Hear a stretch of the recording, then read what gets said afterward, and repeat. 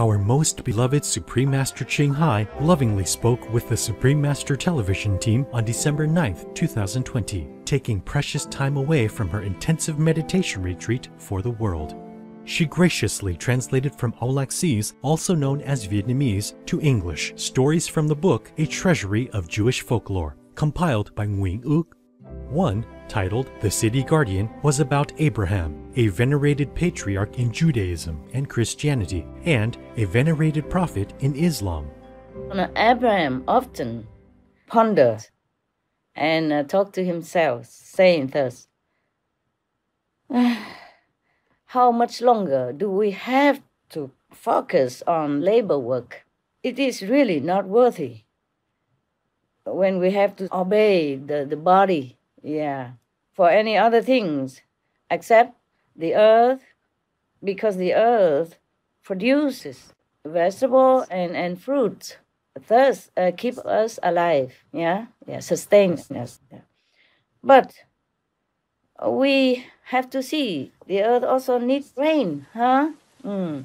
If there's no rain, then, uh, oh, he say if the sky doesn't open to allow rain to come down to the earth, then uh, the earth also cannot produce anything. So Abraham changed his mind. He was thinking that anything else, you know, uh, belongs to the physical. Eh, nothing is better better than the earth because the earth produces so many nutritious products to keep us alive. But then he was thinking again, no, but the earth needs rain. so he thinks the earth is not the, the number one. so then he's thinking, oh no, then uh, only the, the sky is worthy for us to worship.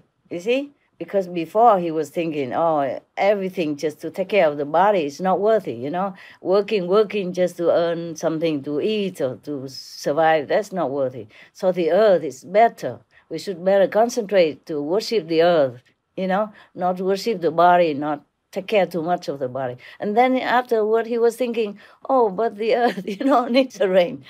so now he thinks, if the sky doesn't allow the rain to come down, then the earth is useless. Thus now he thinks the sky is more worthy to be worshipped. Mm, right. right. Yes. And then he was seeing the, the sun in the sky. He was thinking, oh no, the sun gives the whole world brightness, yeah, and brilliant uh, color, so that all the, the trees and fruits and everything can grow. Yeah? yeah? And then he said, okay, then only the sun is worthy for us to worship. Yes. Yeah. yeah. Huh? And then the sun set. he was thinking, huh? Okay, then like that, the sun is not the, the God. You know, it's not the high spirit. That's what he meant, you know. So the sun is also not, not worthy enough for him to worship. And then after that, Abraham was thinking, you know, he's weighing back and forth. And he saw the, the moon come out. And then many beautiful, brilliant stars in the sky. And how they brighten the dark night.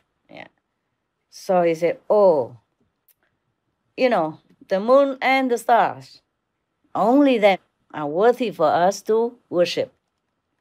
Uh, then uh, the, the moon disappears. You know, it does sometimes in the night. And then he said, Oh, then the moon is also not worthy enough for us to worship as God, you know, as Spirit of God. They call it uh, God, Spirit. But they mean God Almighty, yeah?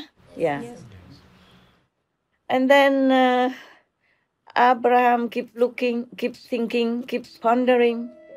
Master also mentioned the importance of learning about the Jewish people. The Jewish people, in my impression, are the much misunderstood race of beings, yeah, in the world.